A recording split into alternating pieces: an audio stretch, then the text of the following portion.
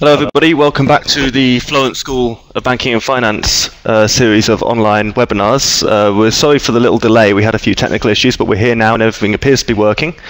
Uh, so, if you were with us last week, um, you'll know that this week we will be entering the world of contingent convertible debt instruments, otherwise known as COCO. And back to guide us through this world is Enrico Perotti from the University of Amsterdam. Enrico, how are you today? I'm very good. Excellent. Well, we have uh, 50 participants. Now, if you want to see last week's webinar, you can see that at the Florence School of Banking and Finance YouTube channel. And for more information about the school, you can visit fbf.eui.eu.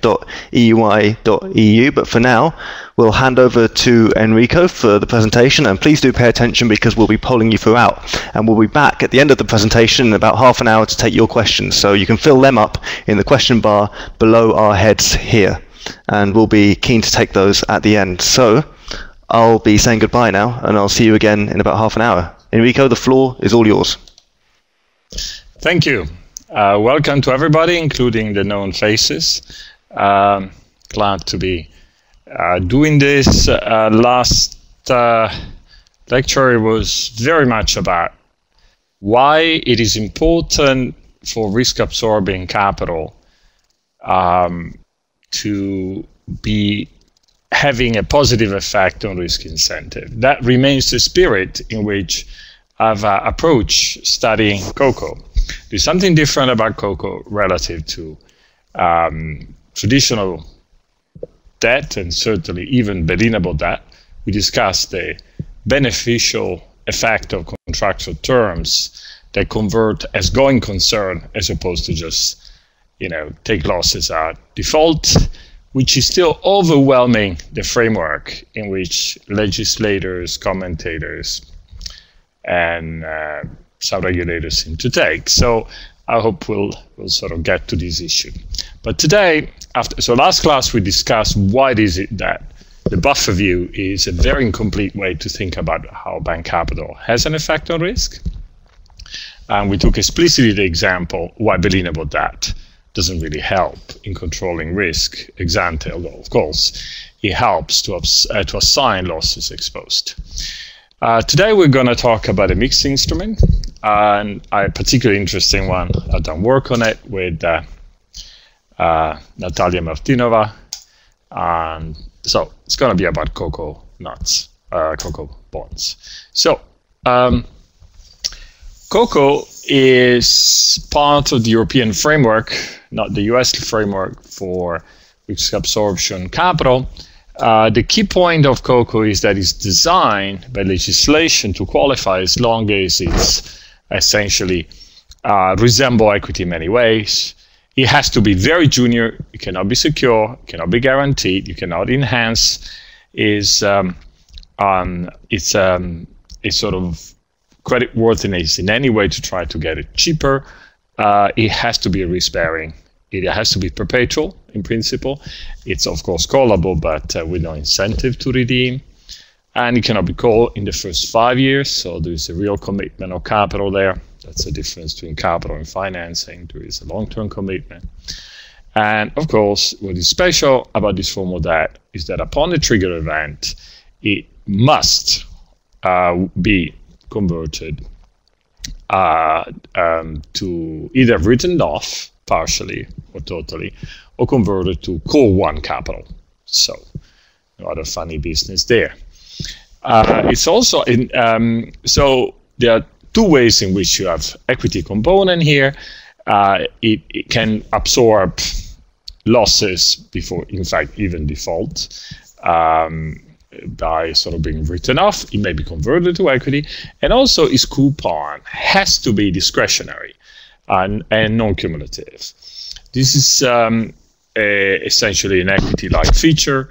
Uh, in any bad years, if there is not enough profitability, the bank is uh, has no legal obligation to make a payment on the coupon. And very importantly, and unlike some form of preferred stock, which was a more conventional construction, these are non-cumulative. So once you miss it, you miss it. And the regulators have power there indeed to, to sort of make sure that when it's inappropriate, uh, coupon may be cancelled. Now, these are the equity component, essentially. Discretionary payout, um, the fact that you have um, essentially a sort of deleveraging uh, effect. Sorry, I don't know what happened here. Uh, a deleveraging effect upon the triggering. And then there is a third ingredient that tells you essentially how much equity there is, and that is the level of the trigger. So if the trigger is set sufficiently high, Coco has a high equity content because at least on the assumption that the trigger is activated um, properly, um, it will um, the deleveraging will occur at a stage in which the bank is still viable, solvent in principle. It is a going concern. It's not gone. It's not in default. Too much of the language of legislators, and I think even um, and certainly journalists, is about what happens when the bank defaults. Um, what is really important here, and in the spirit of hopefully of Basel III, is to sort of act preventively instead of taking this uh, view that risk hits and then you know then we're dead and it's just a question who pays. I think we should do better than that. So Coco is is a step in that direction, at least you know in principle. Uh, how exactly Coco takes losses at default? Um, the, uh, I mean, it's always converted. Terms can dictate whether it's converted into equity or bail-inable debt and that might make a slight difference, but uh, that's uh, that's of lesser importance um, uh, for what we are covering now. Now, how does COCO qualify? So the COCO is not admitted as core equity capital. There was a lot of discussion in Basel, remember, um, about whether it could be considered equity enough to qualify for core capital, it was ruled out, and I think appropriately, actually. Equity should be equity, should be equity. Now, on the other hand, there is an additional tier one, which actually is very much designed, in a sense, for giving space to something like Coco or preferred share, which uh, would have very many equity-like component, even though, in at least nominally, it's a debt instrument. I um, I think the and finally you have the tier two.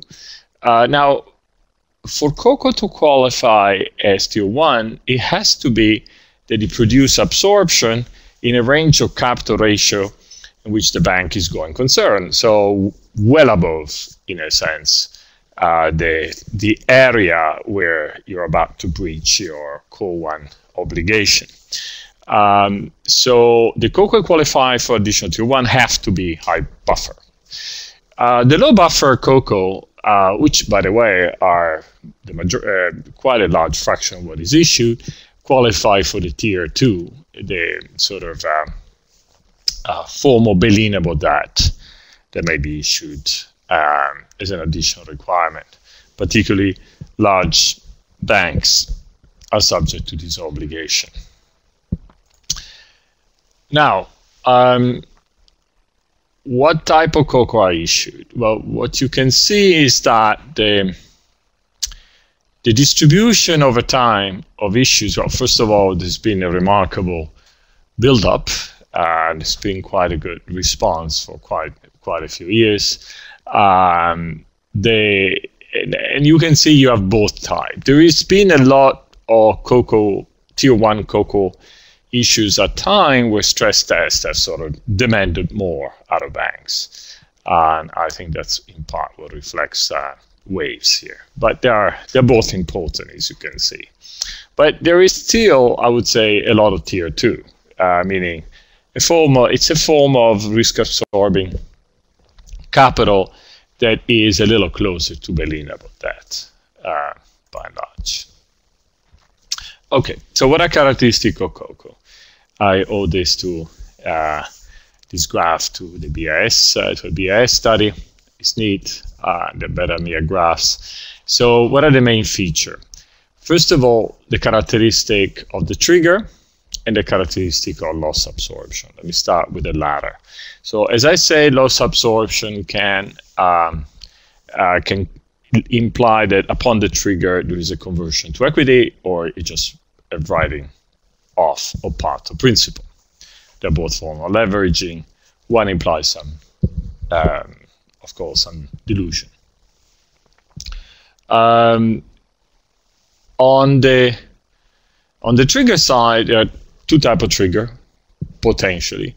It could be defined as um, as uh, essentially uh, either mechanical or discretionary.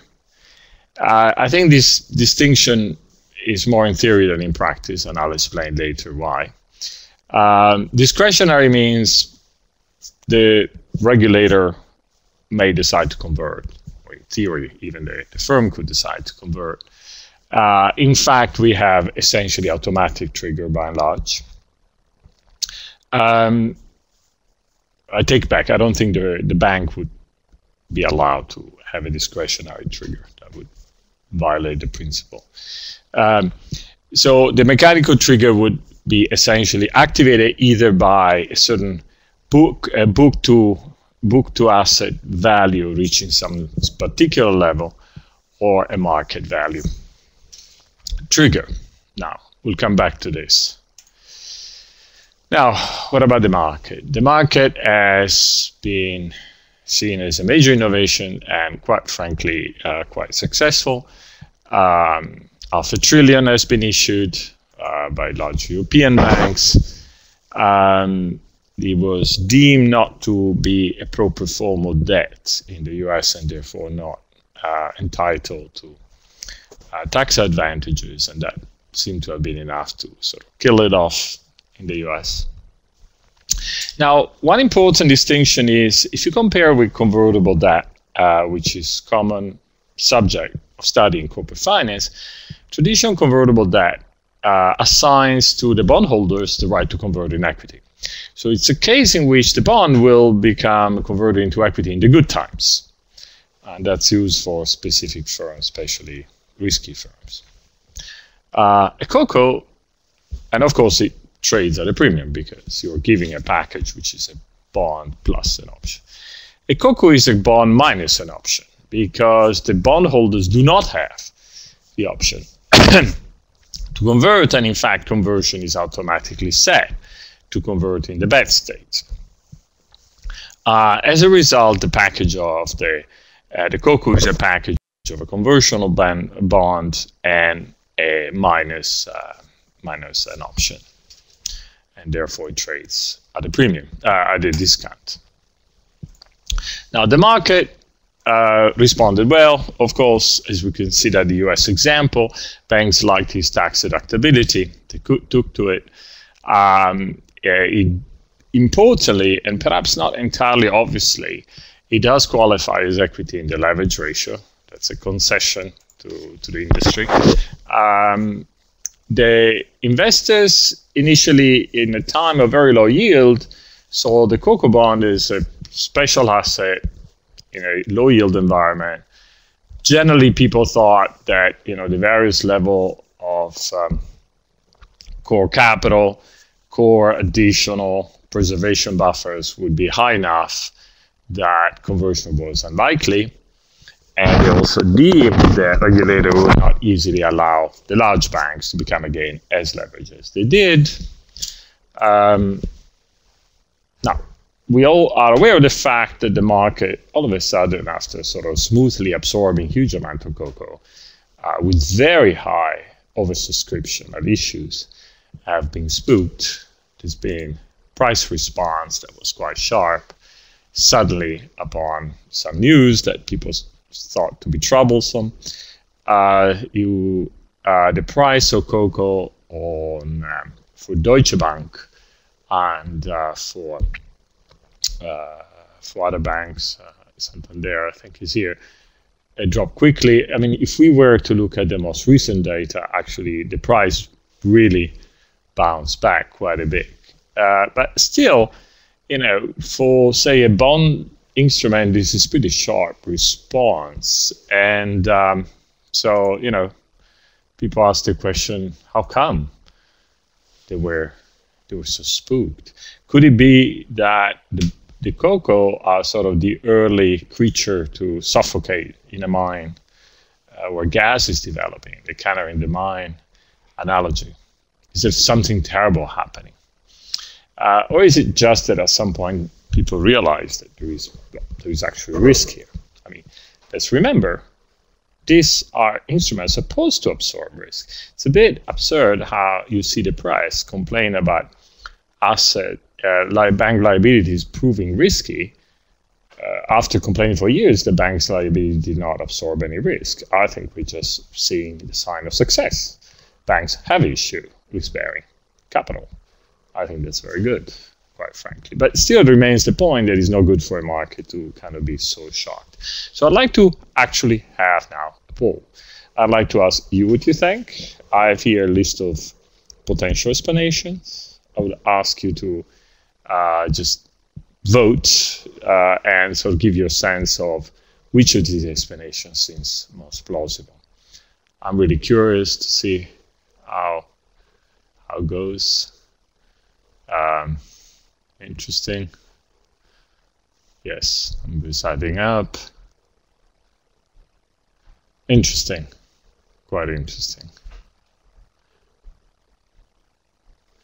Let's say let me see. I'm not sure about the total number of participants, so what point I should call it off.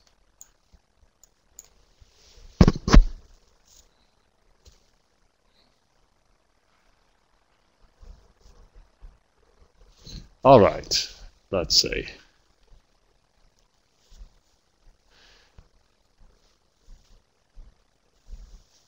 So interesting. Uh, people still voting? I guess we got it.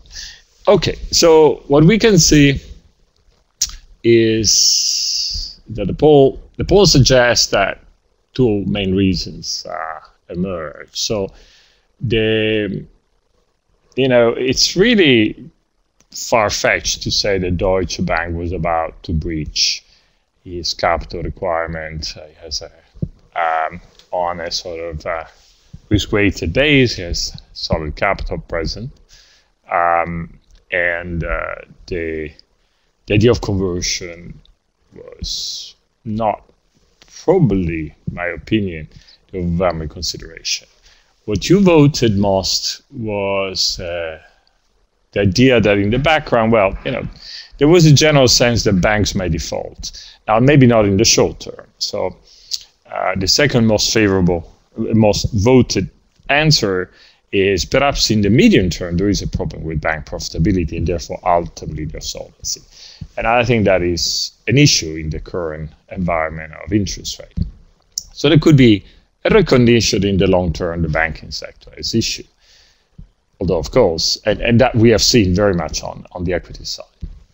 On the other hand, the drop in the bond side was, was quite large. And I think that one explanation is that the market sort of probably over even overreacted to the to what you also consider the most likely uh, reason, which is the fact that suddenly people realize, wait a minute, we're not going to get a coupon this year Deutsche Bank is so unprofitable. And that was uh, of immediate cash flow significance. So a majority of you takes that view.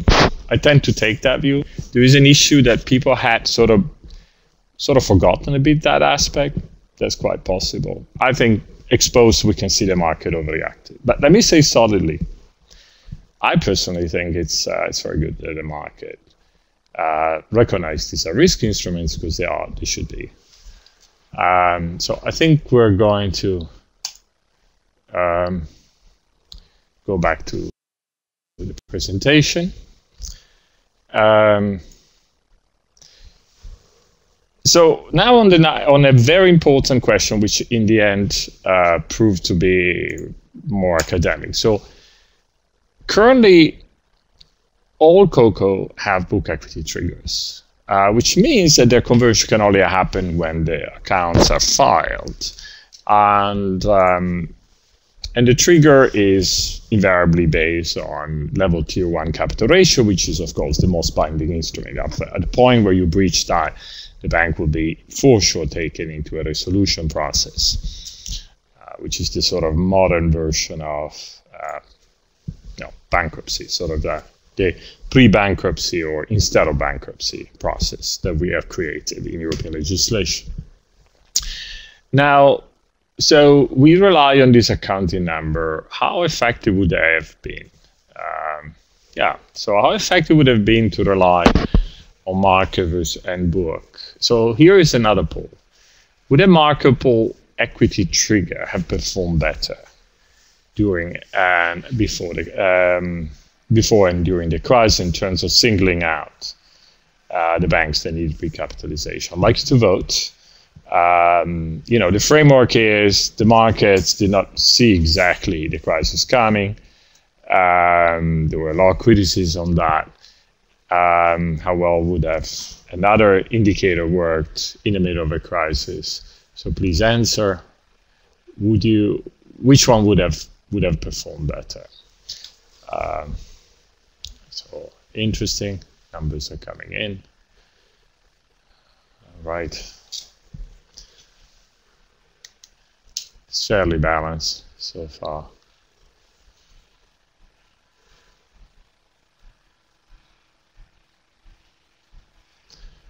All right, I think the one of you that will vote will pretty much have voted by now. Oh, I can choose to broadcast results. So uh, I think I'm gonna end the poll. Oh, last vote. One more. Three, two, one more. Uh, is someone reluctant? Yes. Okay. There's still people voting. One more. All right. Let's make broadcast. There. Um, so a slight majority goes for for market would have performed better, um, but actually many do not know, and actually it's uh, fair enough. Uh, so let me go back to how do I go back? Um, yes, to the presentation. So look at this beautiful graph, courtesy um, so what you have in the first in the first panel is how well book equity of banks did during the crisis. Did very well, actually.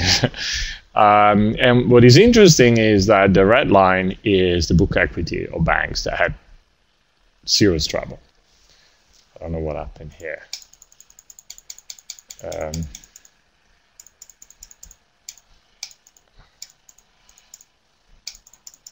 Okay, I don't, I don't understand. Oops. So what, as you can see, the, the banks that had uh, trouble in the end had better book to equity numbers. Always reassuring, isn't it? Now, what you can also see is that market uh, market to book ratios were way too optimistic um, for a long time. They woke up at some point, in fact, mid 2007, which is by some measure too late.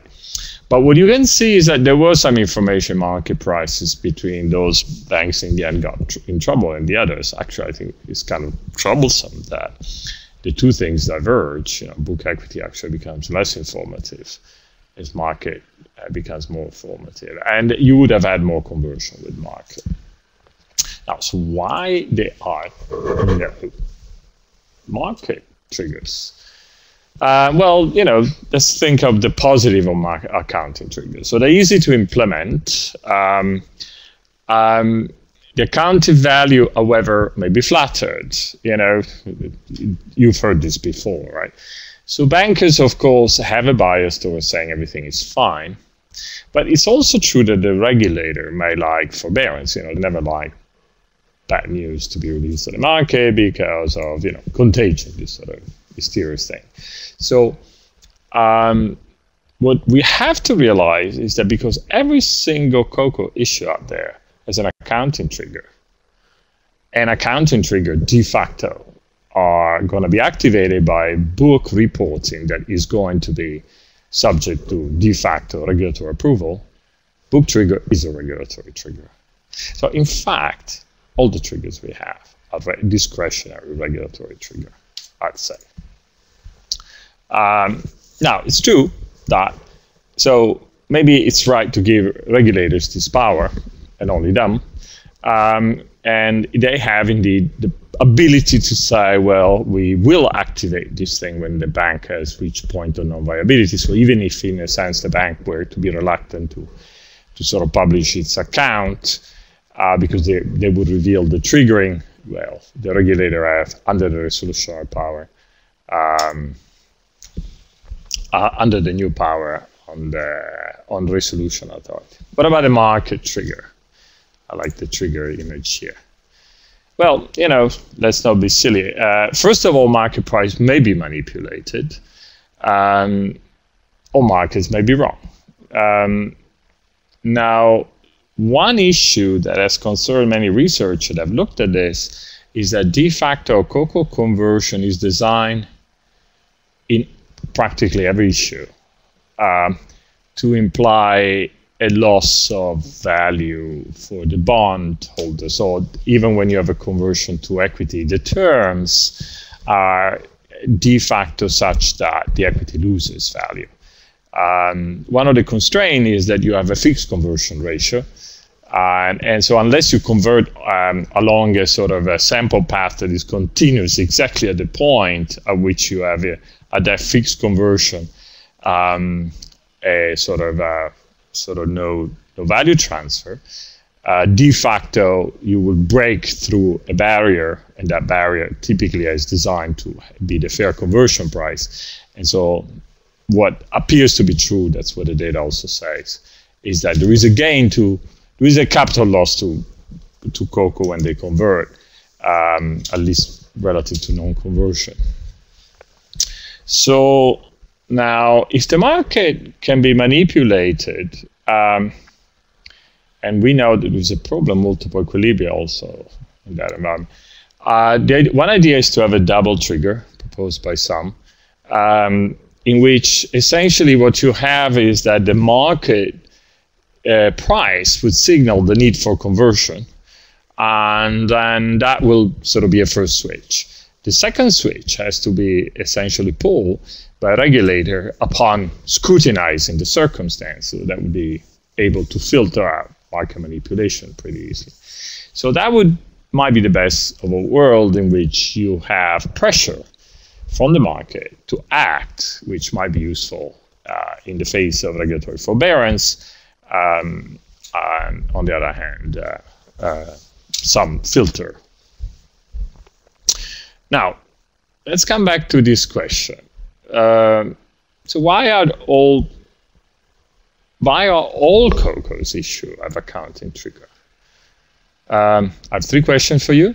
I might be I'm very curious. What do you think? Let's see what the poll says.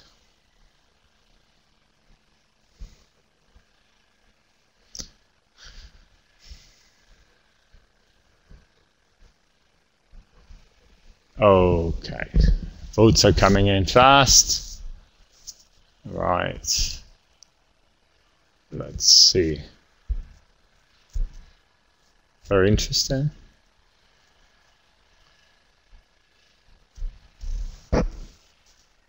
Okay. I think we will pretty all have voted. One more? No more? I think we, we all have it. All right, I'm going to publish the result now. So interestingly, the opinions are divided.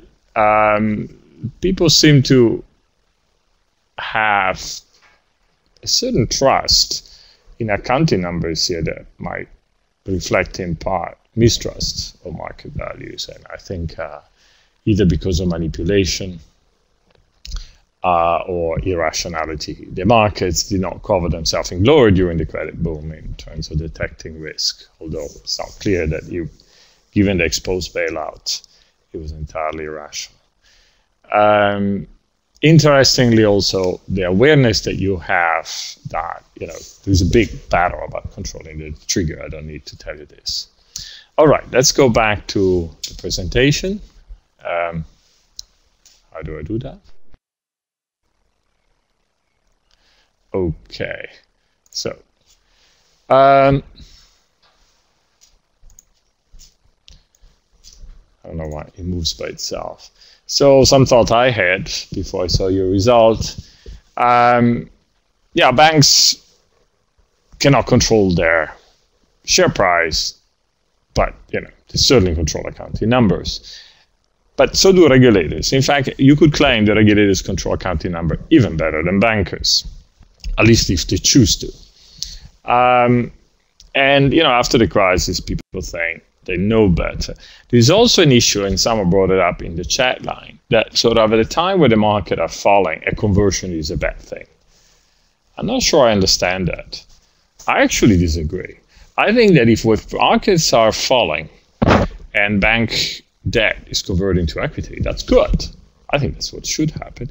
Now, of course, ideally, you want this to happen on an idiosyncratic base. So this bank is in trouble, everybody else is fine. It converts, oh, oh, but yeah, everybody's fine again.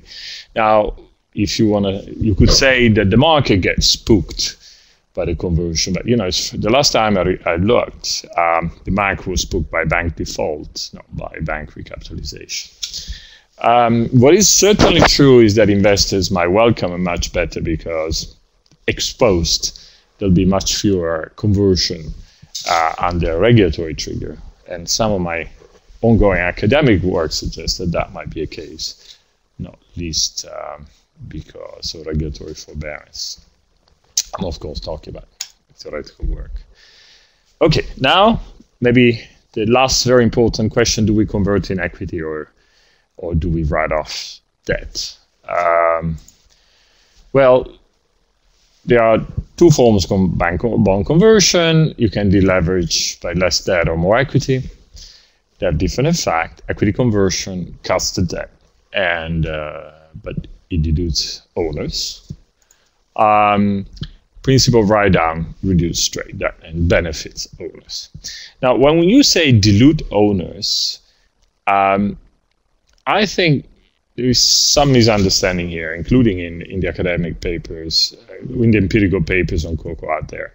It is true that dilution is not necessarily welcome, but strictly speaking, when you convert, you're eliminating a liability, and you're, yes, you get some other co-owners. But whether you get a dilution depends whether the terms are favorable or unfavorable to shareholders. And let's remember, the COCO are de facto, de facto uh, designed to sort of suffer a value transfer upon conversion. So I think the dilution issue here is treated with a bit too much ease in the commentary. Now, psychologically, it might matter, but you have to be a little careful before you say that dilution is a bad thing. If you get more owners, but what you lose is the liability that is actually worth a lot more than what you what you need to share. That's a capital gain for existing shareholders. Now, here is something about some information about the type of loss absorption. Uh, it's a bit hard to read, but you can see the principal write-off are, are, are important. And more interestingly, it was just not a mechanism that was originally expected to be dominant, but it did become dominant. Interestingly, one of the first Coco that had that feature was the Rabobank uh, issue that was issued by a bank that had no equity because it was a, uh, was a cooperative bank, and therefore they can only do the write-off part. But uh, it certainly was followed up. Now, why is principal write-down so popular by and large, unexpectedly, let's say? I mean, more than half. Is it more effective deleveraging?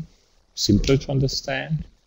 Is it a control issue? You don't have dilution with new guys coming in and telling bankers what to do. So I'd like to open a poll. Uh, I find very interesting to get this feedback. Um, I get more feedback from you than I get from my students who are uh, generally a bit shy, but uh, maybe anonymity helps. So, oh, that's really interesting really interesting what you're saying. Um, got a broadcast results when we finish. Well, maybe I shouldn't because then you get influence. I shouldn't do that. Um, yes, I'll wait for two more and then I close. Will be the lucky two. All right, here, close the poll Oops. Okay. So it's, it's interesting. So most of you think there is a control issue. I think that's very much the case that certainly smaller banks control issues have been a barrier to the capitalization in several countries, for instance, in Italy. Um, the, uh, for the large banks, well, you know, maybe it's uh, it's a very interesting idea. I mean, to the extent that you can buy shares, but you don't buy shares more cheaply by buying CoCo. I mean, you the conversion terms are a bit unfavorable. But it's true that all at once you get a chunk of new guys. So there's a discontinuity. Uh, your second preferred choice is simpler to understand. And uh, as I'll show you, there might be something to it. Um, the least favorite one is the one about being effective to to the leveraging, only only 15% I think so. All right, um, shall we go back to the presentation? Thank you. Um, so let's talk about the effect of um, what is the effect of these two form of conversion? So which one actually is the best preventive effect? I mean, this is a conceptual question. Of course, it depends on contractual terms. If you have small write-off and a big conversion, I mean, makes a big difference. So it depends how much you write off uh, to some extent. Um, but by and large, what is true is that the bondholders upon conversions get less in a write-off than in, in an equity conversion, uh, unless you have a, such a dramatic drop in the share price upon uh, the share moment of conversion. I mean, that's that's also a possibility. Um, but it could be that in terms of yield, and this is something empirically might need to be studied, um, the principle of write-off a high yield. Um, what is a clearly an advantage, and I've seen it in my experience on in this area, is that pure uh, debt investors um, like Coco when there is no equity conversion feature because apparently there are debt people and there are equity people in the market. That strikes me as strange. It's not the way we, write, we think uh, asset pricing works, but that's the way markets work. The markets are actually a lot more segmented than we think in terms of type of investors. Now I'm just going to give you some visual here. I did some quick job here and give you a sense. Um, are the two form of conversion. So here you have both type of conversion described. So imagine here we get uh, this tool that uh, here we put the value of the firm tomorrow and here the value of the claims. So this is a classic uh, equity payoff. So let's say that before before conversion, this is the value of the equity. This is the value of the debt, deposits plus the convertible and then you have two type of possible conversion. One is you just delete some leverage, and that is just a shift of the curve of your payoff.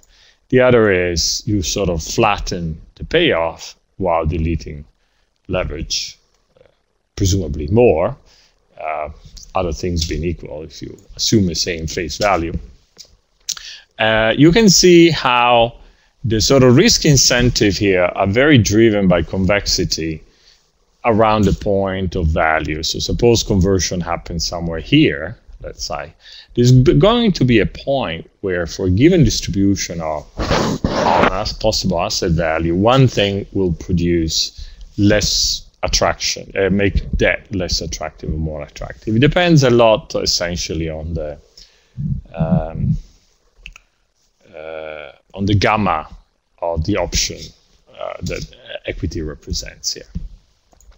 So I think these are just highlighting the two mechanisms. essentially will depend very much on detail or the contractual terms. Um, I know I always go on a bit too long. I'm told I, um, you know, talk like uh, these were not a webinar, but uh, it is. So let's come back to what I think are the highlights. First of all, what is specific about contingent convertible debt is that it's designed to deliver the, uh, the leveraging as going concern. It's supposed to convert even before resolution. In fact, when it converts as resolution, it's actually not very different than that, uh, than bail-inable debt. There's not much uh, point in having so much fuss about it because in the end it's like bail-inable debt. Takes the loss, and that's done. Um, what is really unique, the part that really deserves more attention is conversion is going concern without triggering resolution. It's certainly not bankruptcy. And that's uh, and then potentially this deleveraging at a stage in which the bank is still alive will have effect on sort of the projection of uh, risk return trade off for those who decide about riskiness of the bank. Um, to have a preventive effect, they have to have a high trigger and a good trigger. So the key point of COCO for COCO to deliver an economic value is that the trigger is informative about risk incentive. It's not just a matter of taking losses. You know, any form of that will do that at default. What is the claim here is that COCO can do better than that because it can actually discourage risk uh, before default. So, but for that to work, it has to be that the trigger is good, meaning informative, meaning activated when the time comes, when when when incentive to restaking are being are increased because of losses. The concern, the main concern, is regulatory discretion after trigger. Um, I think that uh, I fear more too few conversion than too many.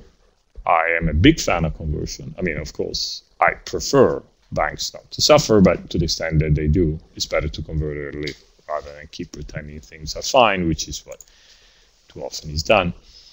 Um, and some of the evidence about uh, that I haven't had time to discuss that is coming out in academic papers is that banks seems to recognize that the issue of COCO has some effect on the riskiness of the uh, of other form of debt and of the bank overall.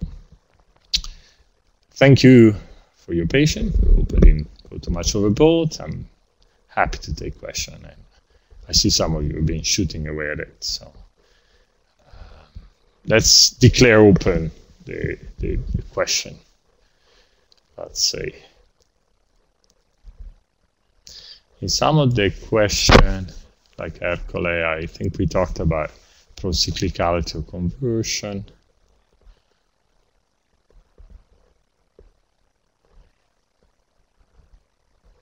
I think many of you echo some of uh, their comments on uh, why accounting triggers are common. Um, actually, really, it's interesting that your comments seem to align with some of my impression, including the fact that there is a segmented market for uh, for investors, debt and equity. Um, okay, there is a question about COCO as executive compensation scheme uh, currency. I think it's a good idea. Um, I think it's a good idea. I mean, it would be the first time that you've given. Yeah, it's. Um, I think it's a good idea. Let's uh, let's leave it at that. Uh, they, it's uh, the advantage is that you are making payoff to bankers conditional long term um, risk, which is exactly what we didn't do. Um, let's say um, well I like very much this question. So since uh, Angelo say start since um, um, if we don't think that the market trouble on the CoCo market resulted from a, uh, from the fact that suddenly people woke, uh, thought that the banks were going to default or convert, Uh, maybe one explanation is market pressure to obtain a coupon payment. I love it. It's, uh, it's super strategic thinking. I mean, first of all, yeah. Well, the point, I, I think that my, certainly commentary market participants about how risky this stuff was they bought and how the authority had to do something about it um, is very much the tone that markets have been taking, in particular with central bankers, but yeah, possibly also with regulators. Um, it's a bit hard to imagine that people will literally take losses in order to, to sort of uh, prove a point. Uh, so I don't know exactly how you would profit from selling, overselling. But uh, I certainly am convinced that if not by trading, certainly by the rumors the market makes, um, uh, they are very keen to keep saying, don't you allow to let us take uh, any losses. And this is uh, this is a game that will continue. It's a bit troublesome that financial journalists seems to take that view. I think it's their the job of these uh, security take losses. Um, someone asked why the U.S. does not incentivize CoCo. I'm actually talked to people at the Fed. They say, you know, you don't understand common law um, legal doctrine. It's just it was impossible to to win the argument. These uh, were a dead instrument. So I leave it at that. Um, are you aware of COCO that provides for debt reinstatement if things get better in later years? I'm not aware of it. I think it's against the principle, but I, I, that doesn't mean. I think it's not possible, but I'm not sure. Right. Could you clarify how CoCo are treated for tax purpose in Europe? No, I'm sorry. I'm uh, not, not good at this. I do not know. Um, do we think, uh, Diego asked, uh, does the turmoil in January also reflect a lack of transparency about a bank exposure? Um, I'm not sure how to comment on that. It could be that our present market investors are very alert to the notion they there might be losses hidden in banks' balance sheet. That's a problem with accounting numbers anyway. Uh, but then again, you know, the conversion is uh, is based on accounting numbers. So as long as if there are hidden losses and they stay hidden, there won't be conversion unless the regulator gets uh, get get a bit serious. Um, and I think the response of the response of public opinion to the distress on the CoCo market was a bit of problematic. I mean, I think it's fine that these markets uh, gyrate, they move. I mean, they move too much, but that should be the commentary because they recover pretty fast also, although not fully. So I don't know. I hope microprudential regulator will not be too influenced by this. Um, I see. There is something about temporary write-down Coco, so there might be more there than I'm aware of. Um, maybe I'll I'll take I'll look take a look. Thanks for the suggestion. Um, Contagion issue, that's a good one. So we don't know who's holding Coco. What about other banks holding Coco? I think uh, micro regulators are extremely keen on that, but I don't know the facts. Do I think the CRD4 sanctions for institution hold Coco a linked to institution create the right incentive? I don't know if the sanction is adequate, if that's your question you certainly do not want to have too many cross-hold, uh, cross-holding.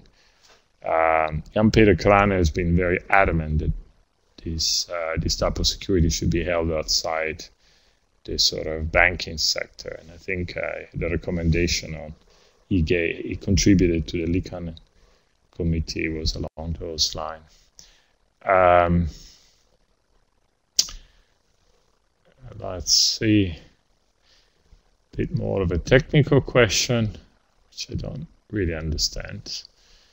Uh, I don't know what an HF long short is. Um, I guess I'll get more information here. Let's see.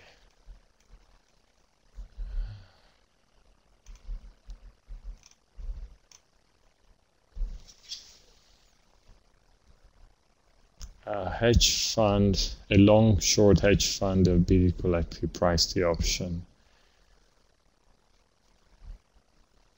Uh, I guess the question here is about the pricing of CoCo. That would be a topic on which um, I, I, th I, thought about it quite a bit theoretically, but I haven't looked enough at data. It's certainly not a trading strategy, so I, I'm not sure I have something to comment on on that. Um, well, I, I, like very much the, the sort of suggestions um, brought up here, also for further thinking. Um, uh, I've worked with Natalya Martynova on uh, on this topic. We actually compare characteristics of CoCo in terms of their risk uh, prevention effects. Um, it's, uh, it's, probably out as a Dutch central bank working paper, but it's available. You can ask. Uh, thanks for the interest uh, in this. Let's see some. Wait, there are a couple of more questions. Very good. Um, how does the TLAC? Um, hi Enrico, can you hear me? Um, I'll just uh, step in and say thank you for the uh, seminar. Uh, judging from the comments, people seem to be quite immersed. People seem to have quite enjoyed it, but I will have to uh, nudge you in the direction of the clock. So why don't you take one more question, one just one last question, and then we'll call it a day. Very good.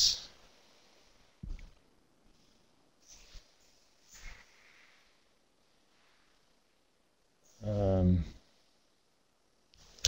of the last question proposed.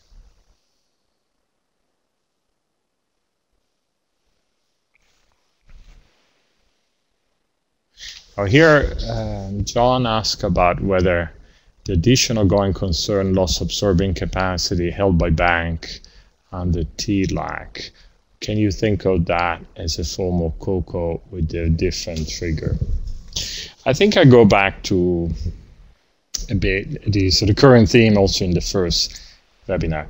It is um, um, TLAC debt is designed to sort of take losses, uh, gone concern, or in any case, resolution. The bank may not actually fail, but it will be resolved. Uh, and so the old shoulders are wiped out. No, I do not think that a lot of TLAC is equivalent to have um, to have um, a CoCo with a higher. I mean, there is some parallel, but I think the problem remains that uh, a lot of TLAC still represents leverage. Um, of course, if you have a lot of it, a lot of the lo- risk taken by uh, by the banks will be borne by the market, which is which is good. But um, but I do not think that TLAC holders are an ability to control the risk, and the high leverage that is implicit in TLAC is worse than uh, uh, the kind of uh, implicit equity going concern that uh, high trigger COCO has. So I think there's really a conceptual difference, an important one. For people interested in this theme, I'll be teaching a course on financial regulation under in, in the under the platform of the Florence School uh, in uh, November, December, um, and it will. These will be some of the things we'll be elaborating on. Okay, excellent. Uh, Enrico Perotti, thank you very much. Um, and thank you to everyone who turned up and who um, asked questions and who enjoyed the webinar. We, we love it when you're so interactive. If you missed last week's uh, FBF webinar on debt buffers, I'm just going to leave a little link in the Q&A section. That is to our YouTube channel where we recorded last week's webinar and you can watch it there. And if you subscribe to that YouTube channel, there will be a video of this webinar popping up at some time in the near future. And if you want to find out more about us at the Florence School of Banking and Finance, you can visit fbf.eui.eu and you can be the first to know about events such as this. So thank you all for coming and thank you, Enrico. And uh, Thank you. we will see you next time. All right. Bye, everybody.